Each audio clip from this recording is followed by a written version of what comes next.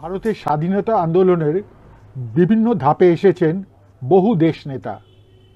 তাদের মধ্যে নেতাজি সুভাষচন্দ্র বসু ভারতবর্ষের রাজনৈতিক মঞ্চের এক অন্যতম বিরল ব্যক্তিত্ব। তাঁর একশো ছাব্বিশতম জন্মবার্ষিকী এই তেইশে জানুয়ারি। আঠেরোশো সাতানব্বই সালে তিনি জন্মগ্রহণ করেন কটকে। কটক তখন বেঙ্গল প্রেসিডেন্সির মধ্যে ছিল। বাংলা থেকে উড়িষ্যা আলাদা হয়ে যায় উনিশশো বারো সালে। সুভাষ বসুর পিতা জানকীনাথ ছিলেন কটকের প্রতিষ্ঠিত আইনজীবী। মা ছিলেন প্রভাবতী দেবী। সুভাষ চোদ্দ ভাই বোনের মধ্যে নবম। কটক শহরেই নেতাজি পড়াশোনা শুরু করেন। ছোটবেলায় তার মেধার পরিচয় পাওয়া যায়। কটকের রাভিনশা কলেজের স্কুল থেকে প্রবেশিকা পরীক্ষায় কৃতিত্বের সঙ্গে দ্বিতীয় স্থান গ্রহণ করে উত্তীর্ণ হন। তার সমাজ চেতনার প্রধান শিক্ষাগুরু ছিলেন স্কুলের হেডমাস্টার বাবু বেণীমাধব দাস। প্রায় পনেরো বছর বয়সে স্বামী বিবেকানন্দের লেখা তার মনকে, চিন্তাধারাকে ওলট পালট করে দেয়। বয়স বাড়ার সাথে তিনি অনেক দার্শনিকের চিন্তাধারা দ্বারা অনুপ্রাণিত হন, কিন্তু বিবেকানন্দ তার মনের মধ্যেই বইতে থাকে। রাজনৈতিক সমাজতন্ত্রের প্রতি তার আস্থার পেছনেও আছেন বিবেকানন্দ। তিনি বলেছিলেন I am a socialist not because I think it is a perfect system but half a loaf is better than no bread সুভাষের ছিল মানব সেবার জন্য উৎসাহ। পিতামাতাকে লুকিয়ে তিনি ছাত্রাবস্থায় সঙ্গীদের সাথে নিয়ে আর্তপীড়িত রোগীদের সেবা করতে বেরিয়ে পড়তেন। আধ্যাত্মিক বিষয়ে তার কৌতূহল ছিল প্রবল। এক বন্ধুকে সঙ্গে নিয়ে তিনি পিলগ্রিমেজে বেরিয়ে পড়েন। তার ভাষায় সাধু হান্টিংয়ে। তারা যান আপার ইন্ডিয়ার লক্ষ্মণ ঝোলা, ঋষিকেশ, হরিদ্বার, মথুরা, বৃন্দাবন, বেনারস, গয়া। কিন্তু ফিরে আসেন কমপ্লিটলি ডিজেক্টেড হয়ে। ভাষায় I returned home a wiser man having lost much of my admiration for ascetics and anchorites উনি রিয়েলাইজ করেন not even the soul can make the body defy the laws of health Kolkata presidency কলেজে শুরু হয় তার কলেজীয় শিক্ষা। সেই কলেজের অধ্যাপক ওটিন ছিলেন একজন ভারত বিদ্বেষী। অধ্যাপকের অশালীন মন্তব্যে তীব্র প্রতিবাদ জানিয়েছিলেন সুভাষচন্দ্র। এ কারণে তাকে কলেজ থেকে বহিষ্কৃত করা হয়েছিল। এরপর আশুতোষ মুখোপাধ্যায়ের চেষ্টায় স্কটিশ চার্চ কলেজে ভর্তি হন দর্শন শাস্ত্রে অনার্স নিয়ে। আইসিএস করার জন্য উনিশশো উনিশ সালে তার বাবা তাকে ইংল্যান্ড পাঠান। সেখানে তার আরও স্বদেশ চেতনা বৃদ্ধি পায়। শৃঙ্খলিত ভারতকে মুক্ত করার জন্য তিনি দেশমাতৃকার সেবার জন্য ব্রতী হন। আইসিএস পরীক্ষায় চতুর্থ স্থান অর্জন করেও চব্বিশ বছরের বয়সে তিনি আইসিএস থেকে রিজাইন করেন। এপ্রিল উনিশশো একুশে তিনি তার পদত্যাগপত্র জমা দেন। সুভাষ, ইংল্যান্ড থেকে বম্বেতে পৌঁছেই সোজা চলে যান গান্ধীজির সঙ্গে দেখা করতে। গান্ধী তখন স্বাধীনতা আন্দোলনের প্রথম সারির নেতা। ব্রিটিশদের বিরুদ্ধে তার নন কোঅপারেশন মুভমেন্টের ডাক তাকে আকৃষ্ট করে। চব্বিশ বছরের সুভাষের তখন অনেক প্রশ্ন, অনেক দিশা। গান্ধী থেকে বুঝতে চাইলেন স্বাধীনতার জন্য তার পরিকল্পনা। গান্ধী ধীরে সুস্থে তার জবাব দিলেন। গান্ধী তাকে কলকাতায় গিয়ে দেশবন্ধু চিত্তরঞ্জন দাসের সাথে কাজে নেমে পড়ার পরামর্শ দিলেন। ভারতের প্রত্যাবর্তনের পর থেকেই শুরু হয় নেতাজির রাজনৈতিক জীবন ও দেশ সেবার মহান ব্রত। নেতাজির তারুণ্য, কর্মশক্তি, সংগঠনী ক্ষমতা, বক্তৃতা দেওয়ার অসামান্য ক্ষমতা, অগাধ পাণ্ডিত্য, নেতৃত্ব দেওয়ার বিস্ময়কর দক্ষতা সকলকে অভিভূত করে। এই সময় দেশবন্ধু চিত্তরঞ্জন দাস ছিলেন বাংলাদেশের এক অবিসংবাদী নেতা। তাঁর ঘনিষ্ঠ সহযোগী হয়ে শুরু হয় নেতাজির স্বাধীনতা সংগ্রামের এক নতুন অধ্যায়। বিবেকানন্দ ছিলেন সুভাষের আধ্যাত্মিক গুরু, দেশবন্ধু ছিলেন তার রাজনৈতিক গুরু। সুভাষ এক এক করে অল ইন্ডিয়া ইউথ কংগ্রেসের প্রেসিডেন্ট, বেঙ্গল স্টেট কংগ্রেসের সেক্রেটারি ও কলকাতা কর্পোরেশনের সিইও হন। গণ আন্দোলনের সাফল্যের ফলে ব্রিটিশরা তাকে সব থেকে কুখ্যাত, অস্বাস্থ্যকর বার্মার ম্যান্ডেলে জেলে আটকে রাখে উনিশশো সাতাশ পর্যন্ত।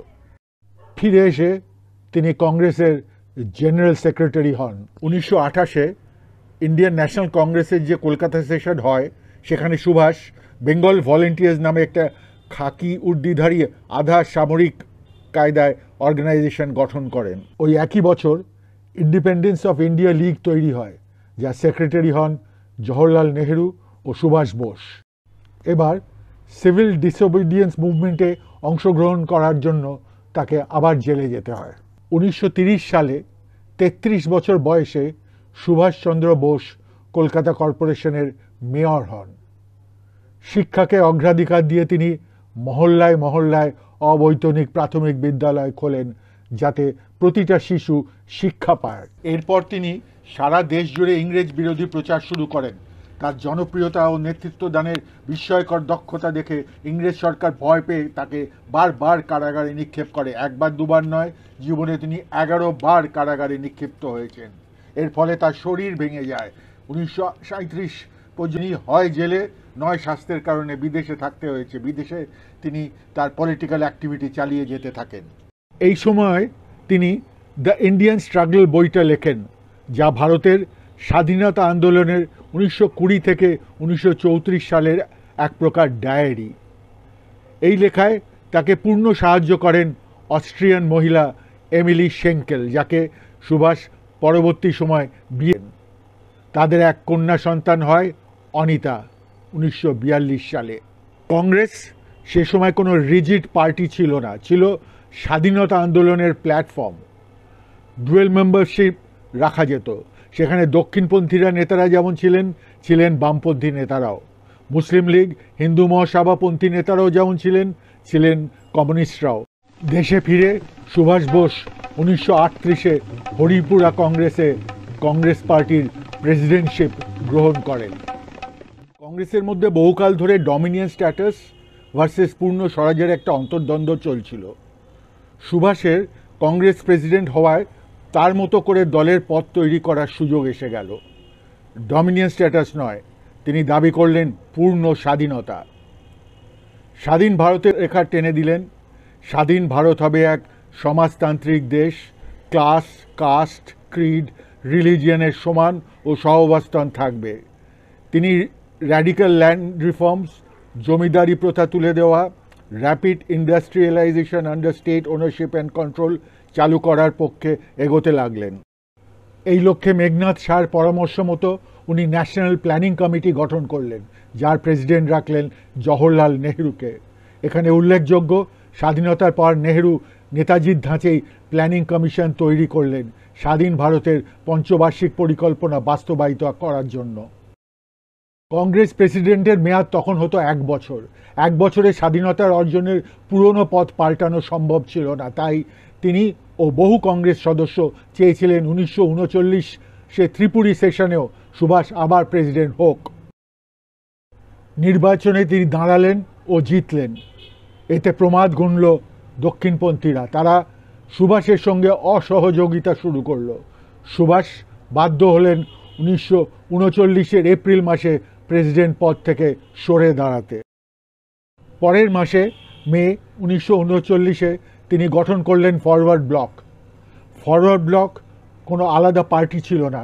কংগ্রেসের মধ্যেই বামপন্থীদের একত্রিত করার একটা প্ল্যাটফর্ম যাতে করে দক্ষিণপন্থী গরিষ্ঠদের উপর চাপ সৃষ্টি করা যায়। দক্ষিণপন্থা ও দক্ষিণপন্থী নেতাদের সিভিয়ার ক্রিটিসিজম করার জন্য সুভাষকে বেঙ্গল প্রভিন্সিয়াল কংগ্রেস কমিটি থেকে বাদ দেওয়া হলো। ও তিন বছরের নিষেধাজ্ঞা জারি করা হলো তার উপর, যাতে উনি কোনো পার্টি পোস্টের জন্য আর দাঁড়াতে পারবেন না তিন বছরের জন্য। এখানে আপনাদের সতর্ক করে দেওয়া উচিত যে জেনারেল মিসকনসেপশন তৈরি করে দেওয়া হয়েছে যে Subhas was expelled from Congress party or Subhas left Congress. না, neither Subhas left Congress, nor was he expelled. He was barred from holding any post for three years. যা হোক, এতে সুভাষের কিছু যায় আসেনি। সেকেন্ড ওয়ার্ল্ড ওয়ারে ব্রিটিশকে কংগ্রেসের ও ডান বামপন্থীদের সমর্থন তিনি কিছুতেই মেনে নিতে পারেননি। তিনি আন্দোলন শুরু করলেন এদের সিদ্ধান্তের বিরুদ্ধে। ঠিকই করে ফেলেছিলেন যে এই ওয়ার্ল্ড ওয়ার টু এর সুযোগে ব্রিটিশদের বিরোধী শক্তিদের কাজে লাগিয়ে ভারতে ব্রিটিশ ফোর্সকে হটাতে হবে। সুভাষ নিউ সোভিয়েত সোশ্যাল সিস্টেমের দ্বারা অভিভূত হয়েছিলেন। তাই তিনি সোভিয়েতদের সাথে ক্ল্যান্ডেস্টাইনলি যোগাযোগ রাখতেন। তিনি শিওর ছিলেন ভারতের ঔপনিবেশিকতা থেকে মুক্ত করতে তিনি সোভিয়েত সাহায্য পাবেন। তিনি দেশ থেকে বেরিয়ে যাওয়ার প্ল্যান করলেন। উনিশশো একচল্লিশের জানুয়ারি, ষোলো সতেরোর মধ্যরাতের এলগিন রোডের বাড়ি থেকে তার মহানিষ্ক্রমণের ঘটনা সবাই জানেন। তিনি ছদ্মবেশে মহা প্রতিকূলতার মধ্যে কাবুল পৌঁছান। কিন্তু সেখান থেকে মস্কো পৌঁছানো অত সহজ ছিল না। যদিও বা পৌঁছলেন, সোভিয়েতরা তাকে যথেষ্ট এন্ড করেনি।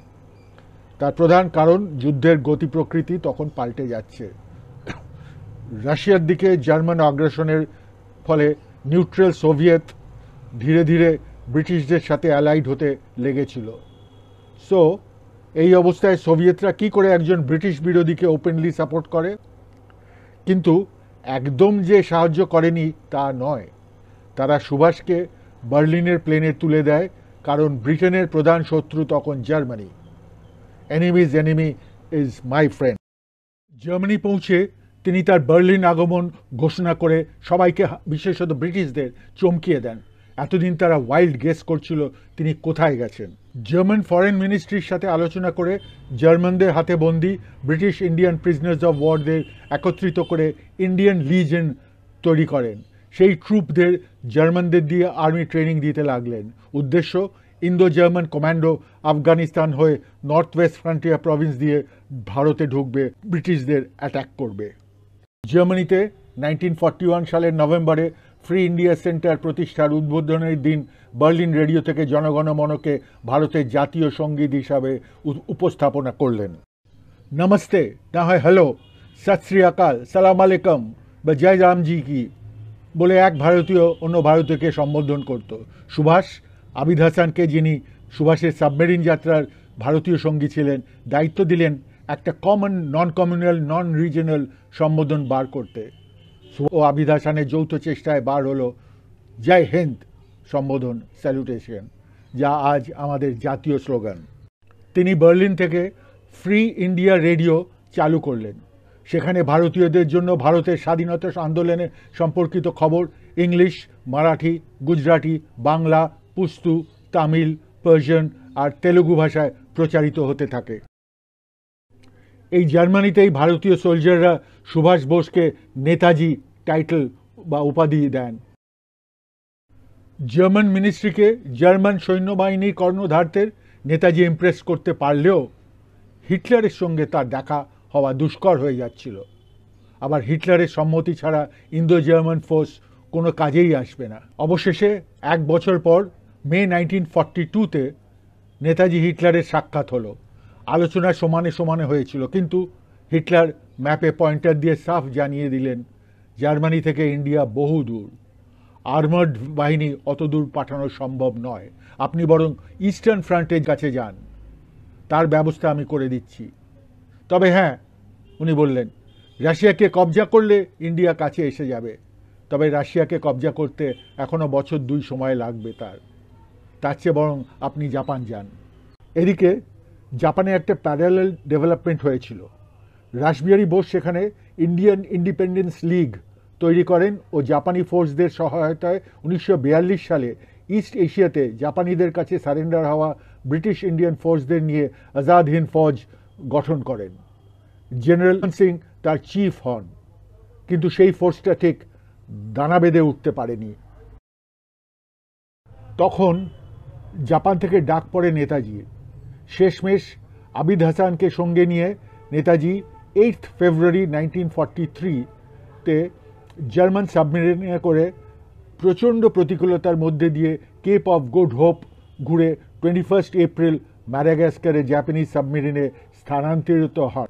টোটাল নব্বই দিন সাবমেরিন জার্নি করার পর সিক্সথ মে সুমাত্রার নর্থে সাবাংয়ে নেতাজি ও আবিদ হাসান ল্যান্ড করেন। সেখানে জাপানিজ আর্মি চিফদের সঙ্গে আলোচনা করে পেনাং, ম্যানিলা, সাইগন আর তাইওয়ান হয়ে টোকিও পৌঁছান থার্টিন্থ জুন বাই এ। টোকিওতে ইম্পিরিয়াল আর্মি চিফ ও ফরেন মিনিস্টার নেতাজির প্ল্যান অ্যান্ড প্রোগ্রাম শুনে খুব ইমপ্রেসড হয়ে যায়। ভারতকে মুক্ত করতে নেতাজির প্ল্যান ছিল সি রুট দিয়ে গিয়ে প্রথমে চিটাগং অ্যাটাক করা, তারপর Bengal. Land route to India through Burma was too treacherous সে সময় Japanese naval force with air support খুব শক্তিশালী ছিল। তারা এক এক করে মালায় সিঙ্গাপুর, বার্মা থেকে ব্রিটিশদের হটিয়ে দিয়েছিল। নেক্সট টার্গেট তাই চিটাগং।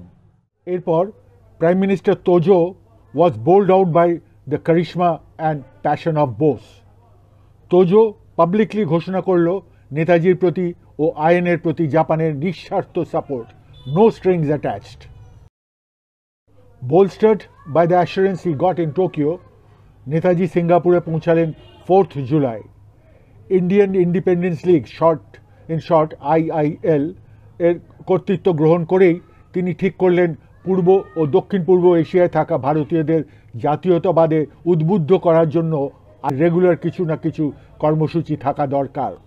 সুতরাং তার পরের দিনই ফিফথ জুলাই আইনের অস্তিত্বর কথা বিশ্বব্যাপী ঘোষণা করলেন।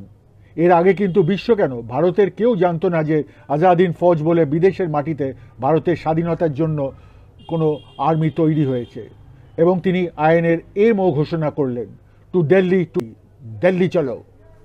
এর পরের অ্যাকশনে তিনি একটি ওমেন্স রেজিমেন্ট গঠন করলেন রানী অফ ঝাঁসি রেজিমেন্ট এবং এর ঘোষণা করলেন টুয়েলথ জুলাই এই রেজিমেন্টে কয়েকশো যোদ্ধা ছিলেন, যার নেতৃত্বে রাখলেন ক্যাপ্টেন লক্ষ্মী স্বামীনাথনকে, যিনি ডক্টর ছিলেন। উনিশশো চল্লিশ সাল থেকে মালায় থাকতেন। এর পরের দিনই থার্টিন জুলাই, তিনি আইআইএলকে ঢেলে সাজালেন। আইআইএল এর পাঁচটা ডিপার্টমেন্ট ছিল, সেটাকে বাড়িয়ে তিনি বারোটা করলেন। জুড়লেন department of recruitment, department of training, department of supplies, overseas department, ইত্যাদি। সিঙ্গাপুরে পৌঁছেই এক মাস বাদে ফিফথ অগস্ট তিনি আইনের সুপ্রিম কমান্ডারের পদ গ্রহণ করলেন। আর এদিকে সামরিক প্রশিক্ষণ তো চলতেই লাগল।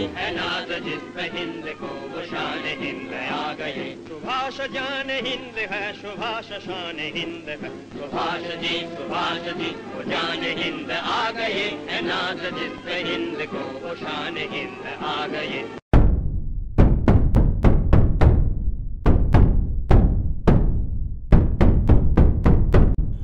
থেকে গ্র্যান্ডেস্ট ডে ঐতিহাসিকভাবে তাৎপর্যপূর্ণ দিন হল একুশে অক্টোবর উনিশশো তেতাল্লিশ সাল। সেদিন সিঙ্গাপুরে ক্যাথে হলে সরকারিভাবে ঘোষিত হল অস্থায়ী স্বাধীন ভারত সরকার provisional government of free India PGFI বা Arzi Hukumat-e Azad Hind. Or in short Azad Hind government Indian government in exile এগারো জন মন্ত্রী ও আটজন আইনের প্রতিনিধি নিয়ে এই সরকার গঠন হলো। অচিরেই নটি দেশ এই সরকারকে স্বীকৃতি দিল।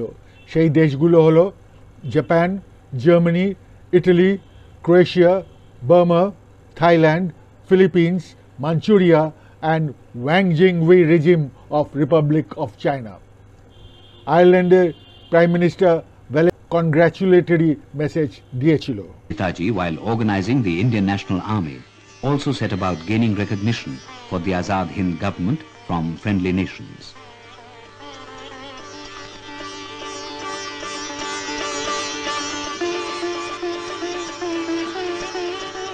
এই আজাদিন সরকার নিজেদের কারেন্সি চালু করেছিল। নিজেদের ব্যাংক কোর্ট সিভিল কোড ছিল। সরকারের মতো ইত্তেফাক, ইতমদ কোরবানি বা ইউনিটি ফেথ অ্যান্ড স্যাক্রিফাইস ঘোষণা করলেন নেতাজি।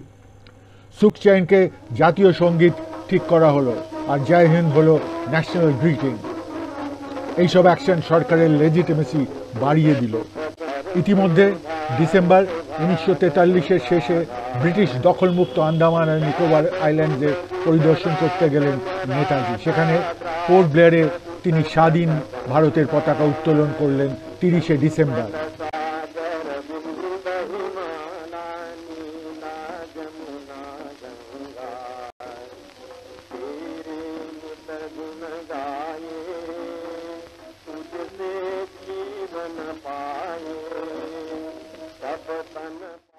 জাপানিজ ফোর্স আর আইএনএ ট্রুপসের মধ্যে একটা স্ট্র্যাটেজি তৈরি হয়েছিল। বার্মিজ টেরেন ভীষণ rugged treacherous and difficult to negotiate ঠিক হয়েছিল, জাপানিরা বার্মার মধ্যে দিয়ে ফ্রন্টাল অ্যাটাক করে ইন্ডিয়া বর্ডারের দিকে এগোবে আর আইএনএ হবে সাপোর্ট ট্রুপ এসপিওনেজ করবে ও ব্রিটিশতে ইন্ডিয়ানদের দল ভাঙাবে ডিফেক্ট করাবে। মার্চ উনিশশো চুয়াল্লিশে জাপানিজ ফোর্স ইন্ডিয়ান ফ্রন্টিয়ার দিকে এগিয়ে গেল। শুধু ব্রিটিশ ফোর্স না চিয়াংকাই শেখের চাইনিজ ফোর্সও ইস্ট থেকে অ্যাটাক করতে লাগল জাপানিজ ফোর্সকে সেই অ্যাটাক অতিক্রম করে জাপানিজ ফোর্স আপার বার্মা থেকে মণিপুরের দিকে এগোতে লাগল। আইএনএল services group Bahadur group path finder হিসেবে কাজ করেছিল আর ব্রিটিশ ফোর্স থেকে প্রচুর ডিফেক্ট করিয়েছিল। বাহাদুর গ্রুপই এপ্রিলে গোড়ায় কর্নেল শৌকত মালিকের নেতৃত্বে ব্রিটিশদের পরাস্ত করে চোদ্দই এপ্রিল উনিশশো চুয়াল্লিশে মৈরাং ইন মণিপুর মুক্ত করে। সেখানে ভারতীয় পতাকা উত্তোলিত হয়। সাইমালটেনিয়াসলি আইএনের আর একটা রেজিমেন্ট ফেব্রুয়ারি মাসে এগিয়ে চলে ইন্ডিয়ার দিকে almost along the sea coast ওই পথে তাদের প্রতিপক্ষ ছিল কমনওয়েলথ আফ্রিকান ফোর্সেস তাদেরকে পরাস্ত করে চিটাগংয়ের কাছে মৌডক বলে একটা জায়গা মুক্ত হয়। অন্য দুটো আইনে ব্যাটালিয়নও বিভিন্ন দিক থেকে বার্মা বর্ডার দিয়ে কোহিমাতে ভারতীয় এলাকা মুক্ত করতে করতে ঢুকে পড়ে। মে, জুন পর্যন্ত সংঘর্ষ চলে, কিন্তু জুনের শেষ থেকে ফরচুন রিভার্স হতে লাগল। জাপানিজরা এমনিতেই ডিমোরালাইজ হয়ে যাচ্ছিল for the losses not only in Burma but also for losing some islands to the US in the Pacific তারা রিট্রিট করতে শুরু করে। আইনে was left in the lurch এর সাথে আর্লি মনসুন সেট ইন করে। রাস্তার অবস্থা বেহাল হয়ে যায়। আইএনএন আর অ্যামিউনিশন সাপ্লাই লাইন কেটে গেল। INA had no choice but to retreat with little or no protection from rain cold and insects আইএনএমএনদের heavy casualty হতে লাগল। তারা রেঙ্গুনের দিকে ফিরতে লাগল। এপ্রিল ফর্টি ফাইভের পর রেঙ্গুন ছেড়ে আইনে পিছোতে লাগল। নেতাজির আশা ছিল, বার্মা দিয়ে ইন্ডিয়াতে আইনে প্রোগ্রেস শুনে ভারতবাসী জেগে উঠবে। ব্রিটিশদের বিরুদ্ধে এক প্রকার আপরাইজিং হবে। এই সারাশি আক্রমণে ব্রিটিশরা ক্রাম্বল করবে। কিন্তু তা হয়নি। ইন্ডিয়ানরা আইনের ফিটস একদম জানতেও পারেনি। British were extremely successful in banning any news of INA trickling in. রাদা প্রচার ছিল, জাপানিরা ইন্ডিয়া আক্রমণ করছে। ভারতীয়রা নেতাজির এই বীরত্ব কাহিনী জানতে পারল যখন রেড ফোর্ট ট্রায়াল হলো আইএনএমএনদের সাহেগাল ধিলন শাহনওয়াজের। ক্ষোভে ফেটে পড়ল দেশ। নৌ বিদ্রোহ গতি পেল। ব্রিটিশ সামরিক বাহিনী ও এয়ারফোর্সে ইন্ডিয়ানরা সাহস পেল ডিসওবিডিয়েন্ট হতে এবং কোথাও কোথাও বিভিন্ন হলো। ব্রিটিশরা আর ইন্ডিয়ান সৈন্যদের উপর ভরসা রাখতে পারল না। আগে অ্যানাউন্স করেছিল তারা মিড নাইনটিন ফর্টি এইটে ওরা ভারত ছেড়ে চলে যাবে। কিন্তু তড়িঘড়ি অগস্ট ফর্টি সেভেনেই চলে গেল। জাপান যে আর সাহায্য করতে পারবে না, তা নেতাজি নাইনটিন ফর্টি ফোর শেষের দিকেই বুঝে গেছিলেন। তিনি সোভিয়েত রাশিয়ার কাছে আবেদন জানালেন ভবিষ্যৎ সাহায্যের জন্য। কিন্তু এবারও সোভিয়েতরা কোনো সাহায্যের কথা বলল না এবং চিঠিরও উত্তর দিল না। নেতাজি জাপানের কাছে তাই অনুরোধ করলেন তাকে সোভিয়েত কাছে যেতে সাহায্য করার। By mid forty five Japan সরকারিভাবে জানিয়ে দিল তারা এই বিষয়ে কোনো সাহায্য করতে পারবে না। তারা এও জানিয়ে দিল, তিনি জাপানের সাথে হয় উঠবেন, না হয় মরবেন। তবে নেতাজি যদি চান, তারা নেতাজিকে ভারতের কোনো অংশে, আসাম বা বাংলায় ড্রপ দিতে পারবে by air O by road জাপানের পরাজয় তখন কেবল সময়ের অপেক্ষা। হিরোসীমা ও নাগাসাকিতে অ্যাটম বম্বিং করায় জাপানিজদের সারেন্ডার দ্রুত এগিয়ে এলো। নেতাজি খবর পেলেন থার্টিন্থ অগস্ট সিঙ্গাপুরে। সাথে সাথে তার মন্ত্রী পরিষদদের আর্মি চিফদের নিয়ে মিটিংয়ে বসলেন। Netaji was prepare to surrender himself and face the firing squad নেতাজির ডেপুটিরা সে পথ আটকে দিলেন। তারা স্থির করলেন, Netaji has to go away somewhere anyway আর যাই হোক, তাকে দেওয়া যাবে মিটিং চলল সারা রাত, পরের দিন পর্যন্ত। অল্টারনেটিভস ওয়ার ডিসকাসড নেতাজির first priority he be drop somewhere in Assam or Bengal along with intelligence support সেটা ডাইরেক্ট যদি না সম্ভব হয়, তাহলে ঘুরপথে চীনের ইউনান হয়ে। এবার কি করা? জাপান সারেন্ডার ওয়াজ নট ইন্ডিয়ার সারেন্ডার জাপানিদের সঙ্গে আর আলোচনা করা বৃথা। The army had collapsed general কিয়ানির উপর সিঙ্গাপুর ও মালয়ের আইনের ভার দিয়ে তিনি কয়েকজনকে নিয়ে ব্যাংকক রওনা দিলেন। আইআইএল এর সেক্রেটারি দেবনাথ দাসকে খবর। আইনের ট্রেজার্স যা তার ব্যাংককের বাড়িতে রাখা ছিল সিকিউরলি জড়ো করে রাখতে বললেন। ষোলো তারিখ ব্যাংককে পৌঁছে তিনি আইনে ক্যাশ টাকা যা ছিল তা আইনে সোলজারদের দু তিন মাসের স্যালারি অ্যাডভান্স হিসেবে পে করলেন। বাকি টাকা ইন্ডো থাই চ্যারিটেবল ট্রাস্ট ও হসপিটালকে দিলেন। আইএনএ ব্যাংককের ভার তিনি জেনারেল ভোঁসলেকে দিয়ে রাতে সব সামরিক, অসামরিক অফিসারদের নিয়ে মিটিংয়ে বসলেন। গভীর রাত পর্যন্ত আলোচনা চলল। তিনি জানালেন, ব্যাংকক ছেড়ে ভোরবেলায় বেরিয়ে পড়বেন কোনো এক সেফ প্লেসে কিন্তু কোথায় তা তিনি জানালেন না। Information and broadcasting S A Ayer IIL এর secretary Debnath Das colonel Habibur Rahman captain Gulzara Singh colonel Pritam Singh and major Abid হাসানকে নির্দেশ দিলেন তাদের তল্পিতল্পা নিয়ে সবাই খুব ভোরে এয়ারপোর্টে চলে আসতে। মিটিংয়ের পর আবিদ হাসান ও নেতাজির পার্সোনাল ভ্যালে কুন্দন সিংকে নিয়ে তিনি ট্রেজার বক্সগুলো নিয়ে বসলেন। সতেরোটা বড় ছোট সিল্ড ট্রেজার বক্সেস ছিল, বেশিরভাগই রেঙ্গুনের ভল্ট থেকে আনা, যার আনুমানিক ওজন দুই থেকে আড়াই মন। নেতাজি এইসব ট্রেজার্স চারটে বড় ট্রান্সফার করলেন সঙ্গে নিয়ে যাওয়ার জন্য। সতেরো তারিখ ভোর ছটায় নেতাজি ও তার ছয় সঙ্গী অ্যালং উইথ জাপানিজ পার্সোনেল দুটো বিমানে সাইগনের উদ্দেশ্যে রওনা হলেন for some safe place Saigon তখন ফ্রেঞ্চ দখলে। সকাল আটটা নটায় তারা সাইগন পৌঁছায়। সেখানে পৌঁছে তিনি জানতে পারেন, তাদের ফার্দার নিয়ে যাওয়ার কোনো বিমান নেই। জাপানি জেনারেল সাজেস্ট করলেন, একটা লোডেড প্লেন টার্মাকে আছে, তাতে একজনকে অ্যাকোমোডেট করা যেতে পারে।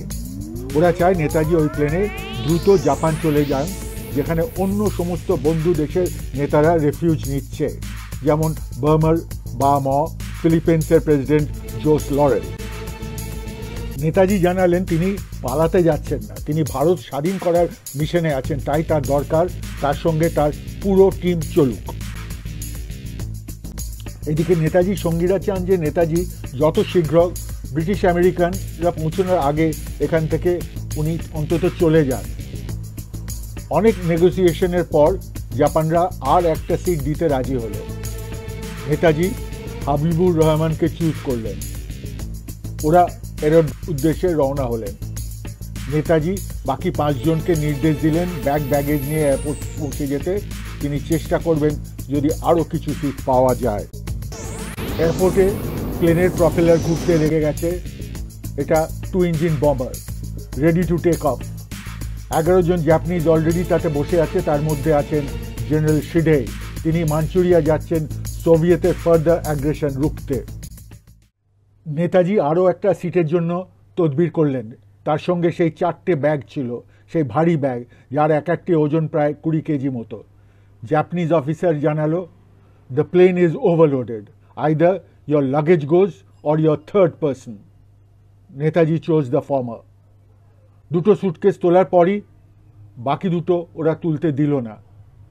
দুটো ট্রেজার ভর্তি সুটকেস পড়ে রইল সাইগনে তার হদিশ আজও পাওয়া যায়নি।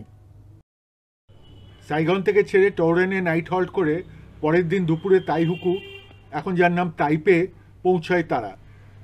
লাইট লাঞ্চ ছেড়ে প্লেনটা দুটো আড়াইটে নাগাদ টেক অফ করে, কিন্তু দশ মিটার ওঠার পরই প্লেনের লেফট ইঞ্জিন ব্লাস্ট করে ও প্লেনটা পড়ে যায়।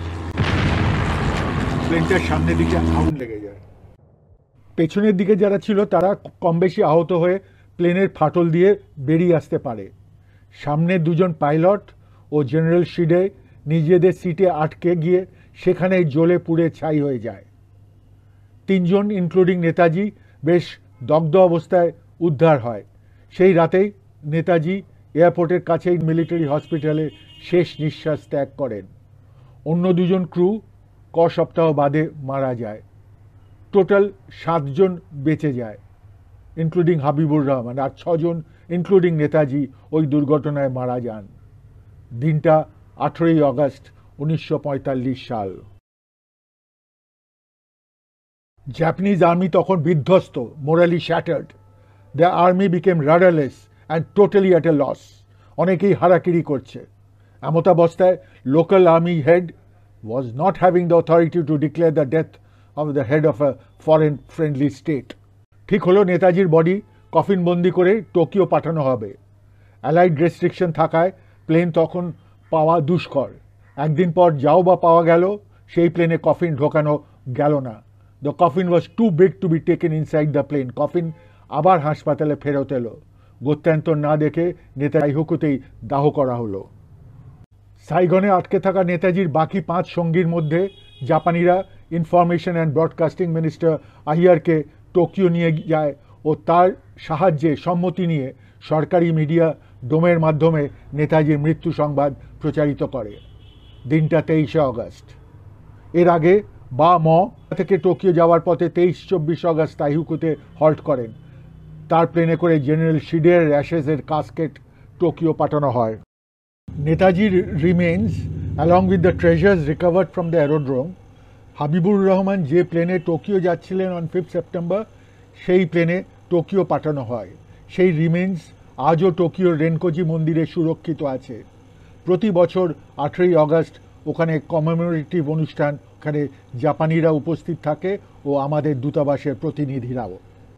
যদিও তেইশে আগস্ট নেতাজির মৃত্যু সংবাদ পৌঁছানো মাত্র সারা দেশে শোকের ছায়া নেমে আসে, লোকেদের মনে একটা সন্দেহ হতে থাকে। কারণ জাপানিরা না নেতাজির বডি ভারতীয়দের কাছে অর্পণ করেছে, না তার ডেথ সার্টিফিকেট ইস্যু করেছে। মানুষের মন এই আকস্মিক মৃত্যু মেনে নিতে পারছিল না, গুজব ছড়াতে থাকে। নেতাজিকে সাউথ ইস্ট এশিয়ার বিভিন্ন জায়গায় দেখা গেছে এরম সবাই বলতে থাকে। কেউ বলে সাইগনে, কেউ বলে দালাতে, কেউ বলে পিকিংয়ে দেখা গেছে, সাউথ কোরিয়া, নর্থ কোরিয়া যুদ্ধে, আবার কেউ বলে যে ফ্রান্সে মার্স পোর্টে দেখা গেছে, আবার কেউ বলে বম্বে ট্রেনে থার্ড ক্লাস কম্পার্টমেন্টে দেখা গেছে। গুজব এত স্ট্রং হতে লাগল যে গান্ধীজিও প্রথমে সায় দিলেন। পরে অবশ্যই হাবিবুর রহমানের সাথে কথা বলে নিজের ভুলকে শুধরে নিয়েছিলেন। এ তো গেল ভারতীয়দের কথা। Britishers were wary about the Japanese announcement on Netaji's death they wouldn't let their uno one enemy escape. Supreme Allied Commander of Southeast Asian Command, Lord Mountbatten, 30th August, Supreme Commander for Allied Powers in Japan, General ম্যাকার্থারকে লিখলেন তদন্ত report দিতে nineteen September MacArthur তদন্ত report পাঠালেন যাতে লেখা খবরটা ঠিক ভারতের ব্রিটিশ অ্যাডমিনিস্ট্রেশনও খবরটা যাচাই করল তারা চার সদস্যের তদন্ত কমিটি পাঠালো সেপ্টেম্বর মাসে ব্যাংকক, সাইগান আর তাহিকুতে তারাও ফিরে এসে রিপোর্ট দিল খবরটা ঠিক। বিমান দুর্ঘটনায় নেতাজির মৃত্যু হয়েছে। এই কনফার্মেশনের পরই নেতাজির ফ্রেন্ড ফিলোসফি দাদা শরৎ বোস মুক্তি পেলেন কুন্নুর জেল থেকে। তবুও ব্রিটিশদের সন্দেহ ঘোচে না, চারধারে এত গুজব। তাই তারা British intelligence officer colonel John ফিগেসকে দিয়ে একটা তদন্ত চালায়। ফিগেস তার তদন্ত রিপোর্ট জমা দেয় পঁচিশে জুলাই নাইনটিন ফর্টি সিক্সে সেই তদন্তেও বেরিয়ে আসে নেতাজি এইটিনথ অগস্ট প্লেন দুর্ঘটনার ফলে মারা গেছেন। এরপর ওয়ার ক্রাইমস লিয়াজো সেকশনের captain Alfred Turner October nineteen forty সিক্সে একটা রিপোর্ট জমা দেয়। সেখানেও নেতাজির ডেথ কনফার্মড হয়। এই সব রিপোর্টের পর নাইনটিন ফর্টি সিক্স থেকে ব্রিটিশ আমেরিকানরা আর নেতাজির খোঁজে সময় নষ্ট করেনি। সিআইএর নাইনটিন ফর্টি সেভেন ফর্টি এইটে রিপোর্টগুলিতে দেখা যাচ্ছে যে সেখানে তারা সুভাষ বোসকে ডেড বলে উল্লেখ করছে। এই যে চারটে তদন্তের কথা বললাম, সেগুলো সব সিক্রেট রিপোর্ট ছিল। পাবলিক এইসব ফাইন্ডিংস জানতো না। জানলো গত ছ সাত বছরে। সুতরাং ভারতে গুজব চলতেই থাকে। নাইনটিন ফর্টি সিক্সের পর নেতাজির নামে গুজব ছড়ায়। যে তাকে ইস্ট অ্যান্ড সাউথ ইস্ট এশিয়ার বিভিন্ন জায়গায় দেখা গেছে। তখন বাংলায় অলরেডি কমিউনিস্ট ইনফ্লুয়েন্স তাই গুজব রটায় মাউসেতুংকে হোচিমিনকে নেতাজি অ্যাডভাইস করতেন। এর কাউন্টার শুরু হয়ে গেল আর্লি ফিফটিজে রাশিয়ান থিওরি চালু করে। সেটা কি? নেতাজির প্লেন সোজা চলে যায় মাঞ্চুরিয়ায় রাশিয়ায় সেখানে তিনি আবার একটা আইনে গঠন করবেন বলে। কিন্তু স্ট্যালিন নেতাজিকে গুলাগে পাঠিয়ে দেয়। ও সেখানে তাকে মেরে ফেলা হয়। ব্যাস, বেশ অ্যান্টি কমিউনিস্ট প্রোপোগান্ডা হয়ে গেল। এই গুজব চালু হয়েছিল কোল্ড ওয়ারের যুগে। রাশিয়া কমিউনিস্ট মুক্ত হওয়ার পর তারা স্পষ্ট জানিয়ে দিয়েছে যে তারা অনুসন্ধান করে দেখেছে নাইনটিন বা তারপর সুভাষ বোস সোভিয়েত ইউনিয়নের কোনো অংশে পা পর্যন্ত দেননি। ফিফটিজের রাশিয়ান থিওরি যখন চালু ছিল, তখন তার বিপরীত আর একটা গুজব চালু হলো। নাইনটিন সিক্সটির শুরুতে। উত্তরবঙ্গে ফালাকাটায় হাজির হলো এক শৈলমারী সাধু। তিনিই নাকি নেতাজি। শৈলমারী সাধু বাদেও মধ্যপ্রদেশের শ্যাওড়াপোকালান জায়গায় আবির্ভূত হয়েছিল বাবা জ্যোতির্দেব। বাবা জয়গুরুদেব মথুরায়। লালধারী মতিয়া অন্ধ্রপ্রদেশের হুমনাবাদে।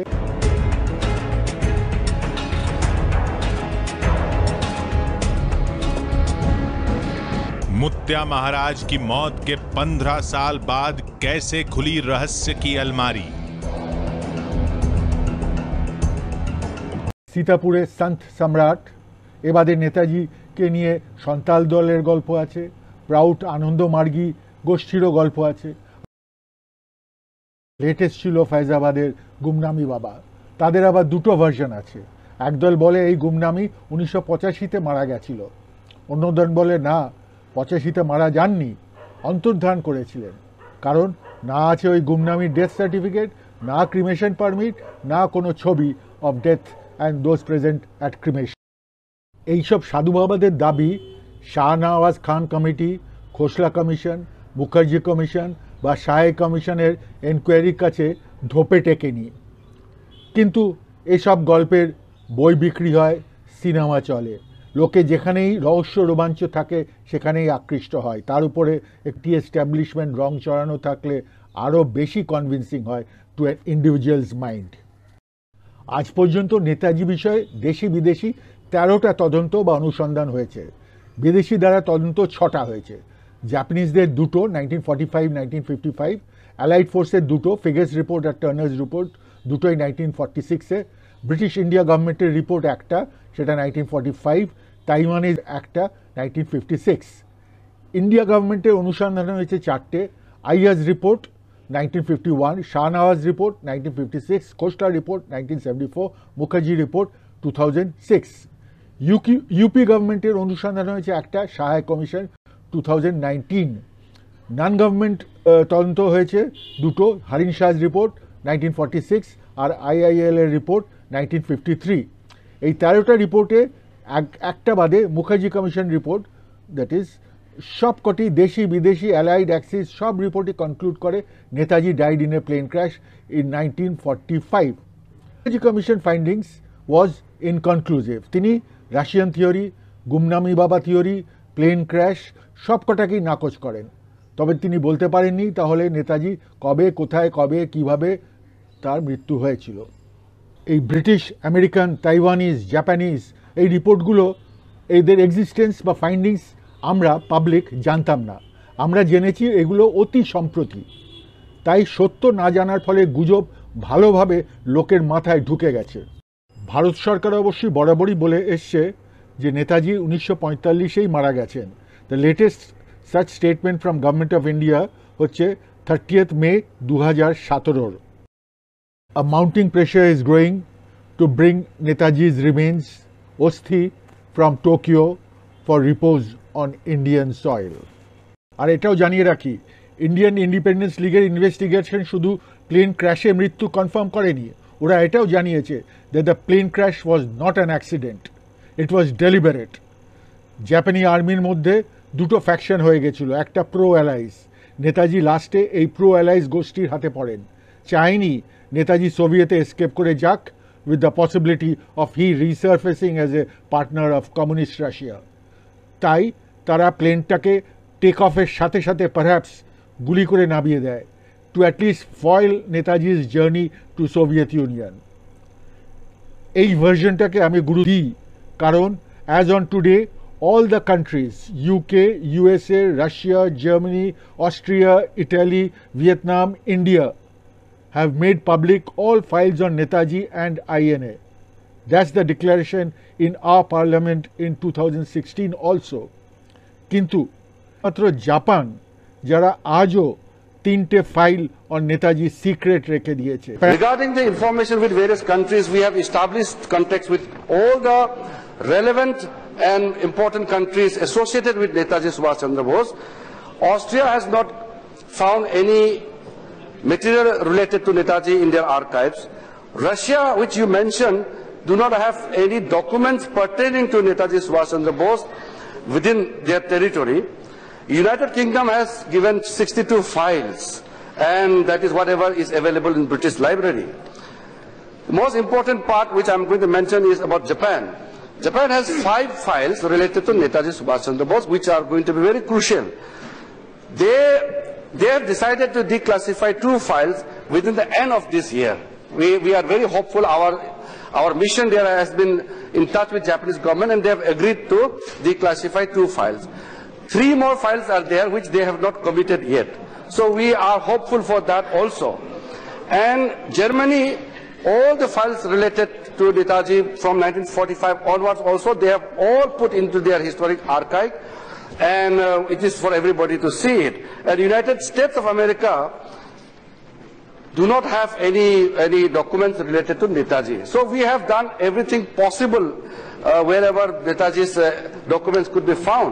Japan curtly জানিয়ে দেয় তারা তাদের প্রয়োজন মতো তাদের Regarding file any other declassify documents করবে that as per Japanese their government may internal have, they review have conveyed that mechanism. the documents are No exception declassified can be as per made their for India. policies, after prescribed time period, based on an internal review mechanism. No exception can be made for India. Dr. Kinking Yen, Director of Health and Hygiene in Taipei, in September 1946, told Hurin Shah, who investigated the 1945 reported incident of Netaji's death, that the Japanese did not want Netaji proceed to Russia. They deliberately dived the plane down on the airfield to kill Netaji. এখানে মনে করিয়ে দিই Japan দুটো investigation করেছে nineteen forty ফাইভে ও nineteen fifty ফাইভে দুটোতেই plane ক্র্যাশে মারা যাওয়া স্বীকার করেছে। ওকে কিন্তু প্লেন ক্র্যাশ হলে it is obligatory universally civilian or military plane কেন দুর্ঘটনা ঘটলো তার তদন্ত করা? তাহলে কি ওই তিনটে ফাইলে সেই তদন্ত রিপোর্ট কেন প্লেন অ্যাক্সিডেন্ট হলো তার বিবরণ আছে? সেই রিপোর্ট বেরোলে Japan will be at an embarrassing position Let me tell you, Japan was wary when in 1955 India approached to investigate Netaji's plane crash. While consenting to the proposal, Mr. Nakagawa, Director of Asian Affairs DIVN, added that government of Japan hopes that there would be a. No departure from the main objectives in view and b. Extraneous inquiries and aside researches would not be made. Here, the question arises, why was Japan so wary of any aside researches which may arise in course of the investigation? এ বাদেও আর একটা indicator আছে which goes against Japan Nehru historian Pratul গুপ্তকে nineteen forty নাইনে commission করেছিলেন to write INA in military operation in the north east to project Netaji INA প্রতুলবাবুকে full nine hundred and ফিফটিটা military classified files দিয়েছিলেন তিনি।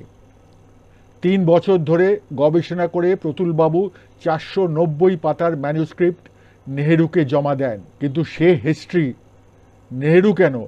সে history দিনের আলো দেখল না। এতগুলো সরকার পাল্টালো। তাও কেউ সেই ইতিহাস প্রকাশ করল না। মনমোহন সিং সরকারের সময় আবার রিভিউ হলো ওই লেখা। দু হাজার ষোলো সালে, অর্থাৎ মোদির পিরিয়ডে জমা পড়ল ওই ম্যানুস্ক্রিপ্টের রিভিউ। তারপর ছ বছর পাচ্ছে আজও সেই হিস্ট্রি বাক্সবন্দি। কেন? প্রতুপবাবু কি তাহলে জাপানি আর্মিদের সম্পর্কে ভিজাভিজ নেতাজি ভালো কিছু লেখেননি? অর্থাৎ, ডালমে কুচ কালা হয়, হতেই পারে। এখানে আর একটা বিষয় সচেতন থাকতে হবে। Some forces are trying to draw a wedge between a freedom fighters who fought for a freedom এর মধ্যে সব থেকে ন্যাক্কারজনক হচ্ছে নেতাজি ও গান্ধীজির অবদান নিয়ে লোকেদের মধ্যে একটা তিক্ত তিক্ততা তৈরি করা। হ্যাঁ তাদের আইডিওলজি আলাদা ছিল পাথ টু ফ্রিডম আলাদা ছিল, রাজনৈতিক মতভেদ ছিল বাট একে অন্যকে সম্মান করতেন। গান্ধীজি গান্ধীজি নেতাজিকে উনিশশো বিয়াল্লিশ সালে পেট্রিয়েট অফ পেট্রিয়েটস আখ্যা দিয়েছিলেন। আর নেতাজি নাইনটিন সালে রেঙ্গুন থেকে বেতার ভাষণে জানিয়েছিলেন, Gandhiji is the father of a nation নেতাজিকে তার একশো ছাব্বিশতম জন্মবার্ষিকীতে শ্রদ্ধা জানানো তখনই অর্থবহ হবে যখন আমরা তার ইনক্লুসিভ এবং ধর্মনিরপেক্ষ আদর্শে অনুপ্রাণিত হয়ে কনসেপ্ট অফ ইন্ডিয়াকে রক্ষা করতে পারব। পরিশেষে উদাহরণস্বরূপ এখানে একটা ঘটনা উল্লেখ করা যেতে পারে। সিঙ্গাপুরে ওয়েলদি চেট্টিয়ার কমিউনিটি নেতাজিকে ও আইনেকে তাদের মন্দির পরিদর্শনের আমন্ত্রণ জানায়। সেখানে তারা নেতাজির ওজন সমতুল্য সোনা ও সোনার গয়না আইনেকে উল্লেখযোগ্য দান করবে। নেতাজি এই আমন্ত্রণ অতি মেনে নেন এবং তার অফিসারদের সাথে মন্দিরে উপস্থিত হন, যাদের মধ্যে অন্তত তিনজন মুসলমান ছিলেন। এতে তার হোস্টরা ইতস্তত করছে দেখে সুভাষ ঘুরে চলে যেতে লাগলেন। তার কাছে অত বড় আইনের কাছে এত প্রয়োজনীয় দান মূল্যহীন, যদি তার জন্য তার অফিসারদের হিউমিলেটেড হতে হয়। চেট্টিয়ারা তৎক্ষণাৎ ক্ষমা চেয়ে তাদের সবাইকে মন্দিরে আমন্ত্রণ জানায়। তারা প্রত্যেকের কপালে তিলক লাগিয়ে দিল এবং মুসলমানদেরকেও আপত্তি করল না। সুভাষ তার অফিসদারদের সাথে মন্দির থেকে যখন বের হলেন, তখন তিনি তার কপালের তিলক মুছে বললেন, যদি আমার ইউনিফর্মের সাথে ধর্মকে অনুমতি দিই, তাহলে আমার সেনাবাহিনী, আমার দেশ ভেঙে পড়বে।